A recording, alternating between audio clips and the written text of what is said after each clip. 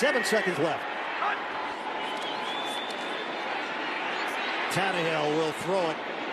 And this will end it after the shovel, or will it?